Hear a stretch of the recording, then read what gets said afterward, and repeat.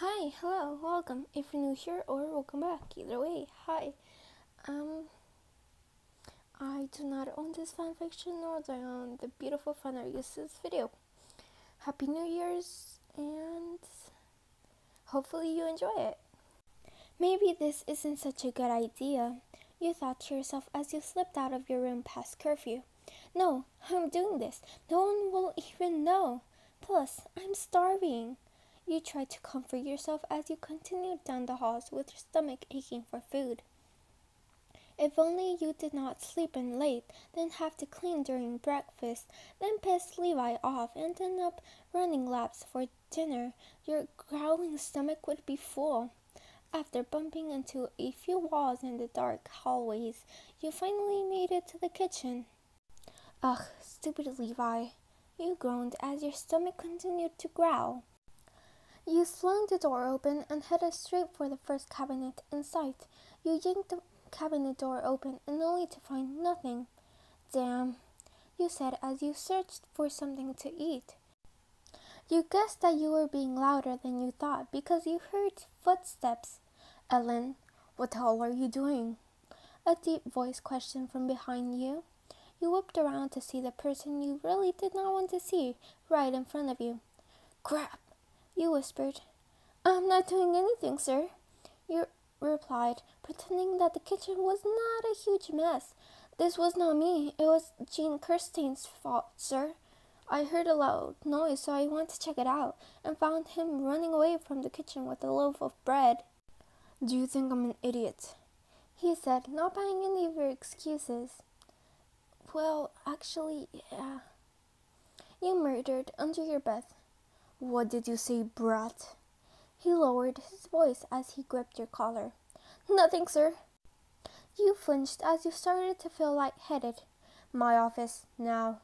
Levi commanded in an intimidating voice as he shoved you out of the kitchen. Kitchen. you stumbled down the hall, making your way to the corporal's office, a place you knew too well. Let's just say you weren't on Levi's good side. Once you arrived at his office, Levi grabbed his keys from his pocket and opened the door. You followed the stoic man into his spotless office. A light layer of sweat glanced your skin as you saw him sit at his desk. Why am I so nervous? I do this all the time. Am I sweating? Sit, he instructed with a stern expression. All of a sudden, your legs felt wobbly and your eyesight became hazy. Ellen, do as I say. Levi demanded. I, I can't. Your face lost all color as your small frame abruptly dropped to the ground. By now, the corporal was used to all your pranks. Get your ass up, Ellen. You can't avoid your punishment. He thought you were messing with him. Seriously, you're starting to piss me off. Get up. Levi got up from his chair and strode over to you. He crouched down to your form that was lying unconsciously on the floor. Shit. The corporal shook your shoulders. Ryan, are you okay? He asked tensely. You were still breathing and your blood flow was soon restored, but you were still weak. Levi grunted as he picked up your body and took you to his room. He laid you down on his bed and went to the bathroom and came back with a damp cloth. Your eyes fluttered open to see Levi leaning over you, pressing his hand to your forehead. C Corporal?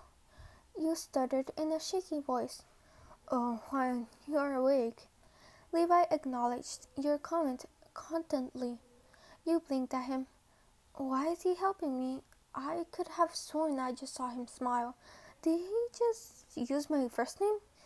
A million questions raced through your head at your superior's kind gestures. What happened? You asked, still dazed. You fainted due to low blood sugar.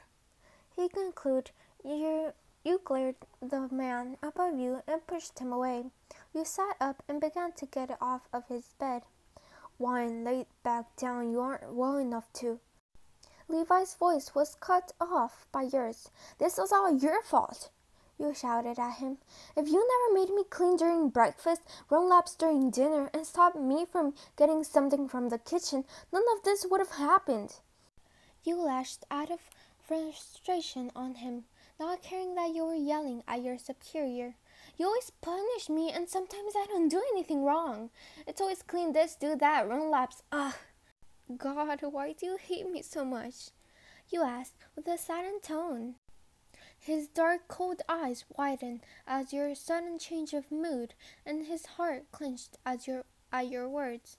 What? He was confused. Hate you? Well, yeah, don't you?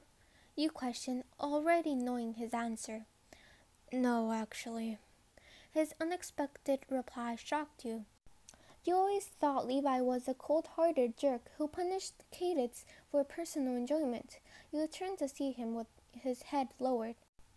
Oh, um, Corporal, I apologize. I didn't mean to say all of those things. You sat back down on the edge of the bed. You wouldn't have said them if you didn't mean it, brat. Levi said with a slight smile. Listen, the only reason I'm so hard on you is because I want you to be strong, to stay alive. I care about you, Lion. Uh, I, um, cor- corp. You were so confused and didn't know what to say. You felt Levi's warm hand embrace yours. Your eyes started over your superior's softened face. His other hand caressed your cheek lightly. You blinked at his actions. What the hell is happening? Is this a dream? Uh, sir, uh, I.